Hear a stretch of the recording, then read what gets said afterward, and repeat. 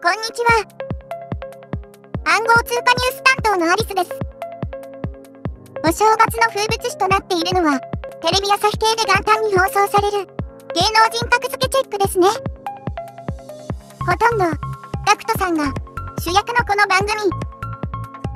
今年の収録は、昨年の11月17日に行われたようですが、今回ばかりはいつもと勝手が違ったようです。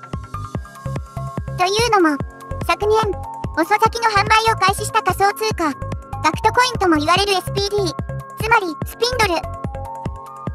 このスピンドルをめぐる詐欺疑惑が、今でも根深くくすぶり続けているからなんです。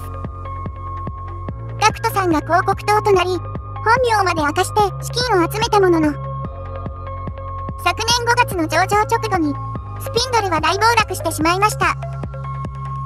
ガクトさんのファンの多くが、最後の資金を失ったこの暴落劇に。当初4円ほどあった価格は12月現在0.01円という悲しい金額で取引されています。本物を見抜くはずのガクトさんにしては今回は文字通りに大きくお株を落としたようです。昨年3月には週刊文春がこの件でガクトさんに資金決済法違反つまり無登録営業の疑いがある。と報道したことに始まり、ガクトさんの口車に乗せられ、スピンドルに投資し、損失を被った関係者や熱心なファンの方々が、全国の警察署に、悲痛な叫びとともに、駆け込んだという情報もあったようです。一般紙記者は、愛知県警や静岡県警などが、合同で、捜査本部を立ち上げたという話もあれば、捜査の指揮権が大阪府警に移ったという情報も流れた。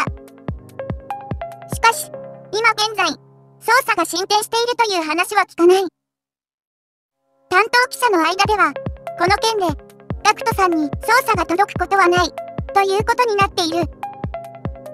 ということで、ガクトさんを信じた購入者さんは、途方に暮れています。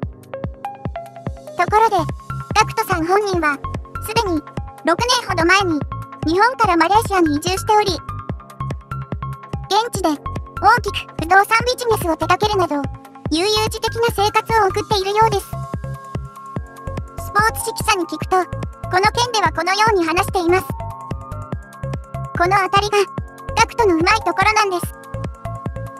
マレーシアに移住すれば、日本の警察の捜査が及びにくいことを分かっているんです。つまり、ずいぶん前から、このスピンドル計画を練っていたということでしょうか。もちろん詳細は私には分かりません。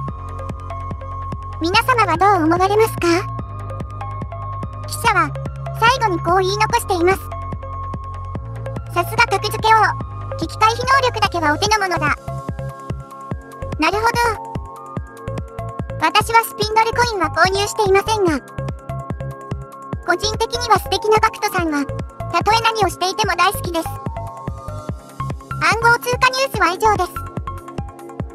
投資はリスクヘッジをした上に余剰資金で行うことが大事ですね。